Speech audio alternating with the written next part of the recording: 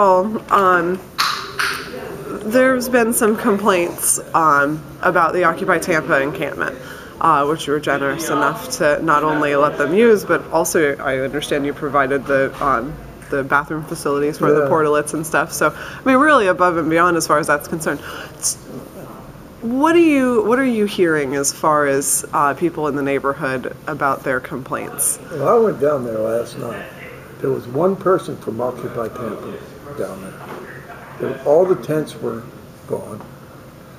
and, uh, except for several, three. Have you been down there lately? Um, it's been about a week and a half since I've been down there. Uh, they've cleaned the place up, uh, and uh, I just think the Occupy movement uh, here in Tampa is losing. Not that I, I want it to or anything. It's losing steam. So the neighborhood, when I was down there last night around eight o'clock, there was people not in the park, not on the sidewalk at the park, but across the street from a, a bar, down the street, down there. There's a lot of people just hanging around. Uh, it would seem to me that they have more problems with people from the neighborhood than they would have from from Occupy uh, Tampa. I'm not sure what uh, the problems really are because when you have a group of people, automatically you have problems. I mean, you put 50,000, 60,000 in the stadium and it becomes the center of crime in Hillsborough County, in Tampa, Hillsborough County, maybe in the state of Florida at that time because there's so many people compressed into an area. So, you know, if, if you have a movement and uh, successful, then it's going to generate problems. And seems to me that uh, the good outweighs the bad. The good of the Occupy movement, we have uh, uh, uh, special interest groups, energy companies, we have uh, insurance companies, the industry, we have all these big the Wall Street banks, and they're all buying off every legislator that legislator that we have, just flagrantly, right in front of all of us. And it seems like nobody cares, and I think bringing attention to that type of thing is necessary.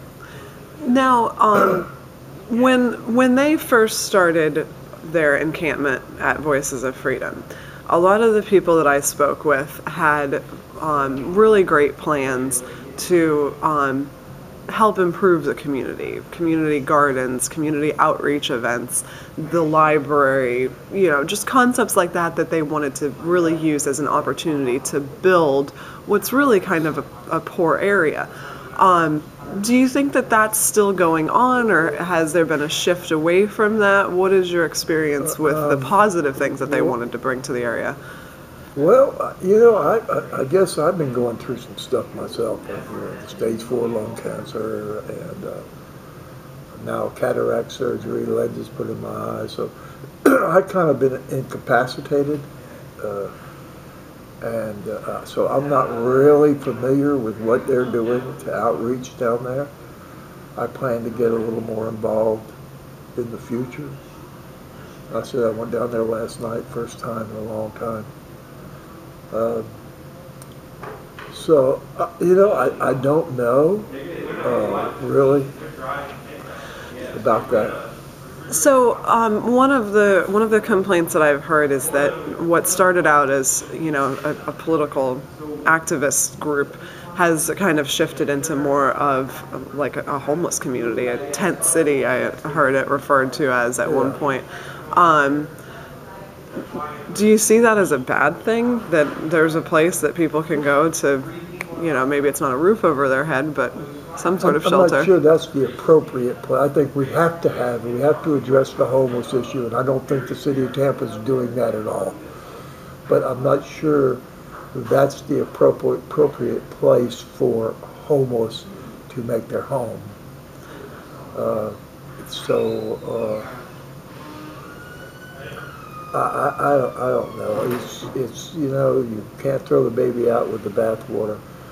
Um, I've given them uh, recently a power of attorney so they so they can trespass the troublemakers and the nuisances, and things like that. Um, So I think, I think it's kind of evolving and it's in a state of, state of evolving right now.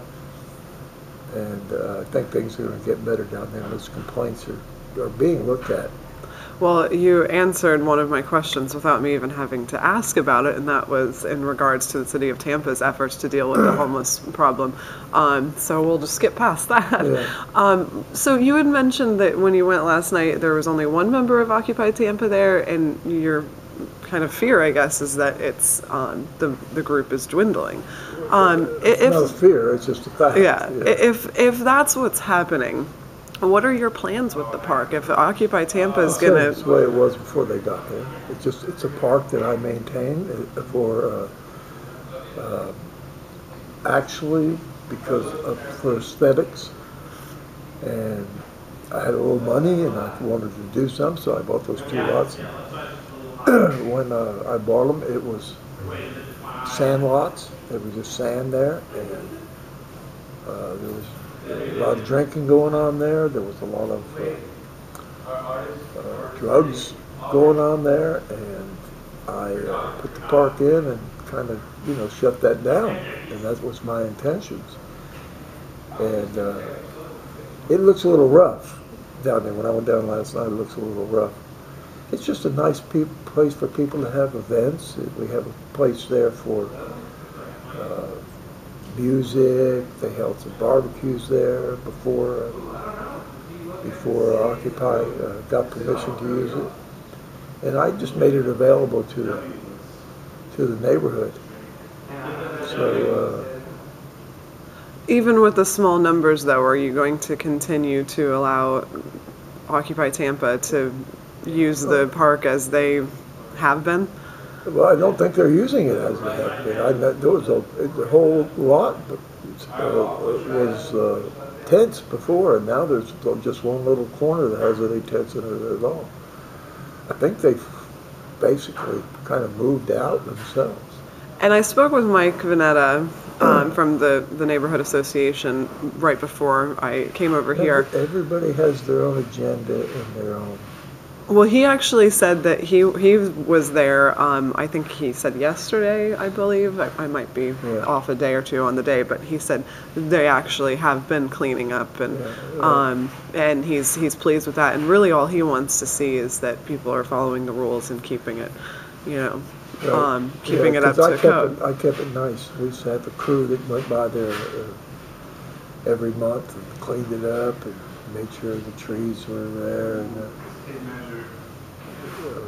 things were being watered and everything. And now we don't have any grass there at all. I kind of don't like that.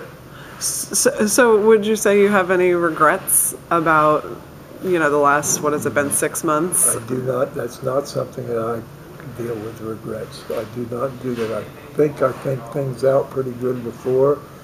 Things don't always go to plan, but I don't have any regrets because I learn from everything. I think that's all I've got.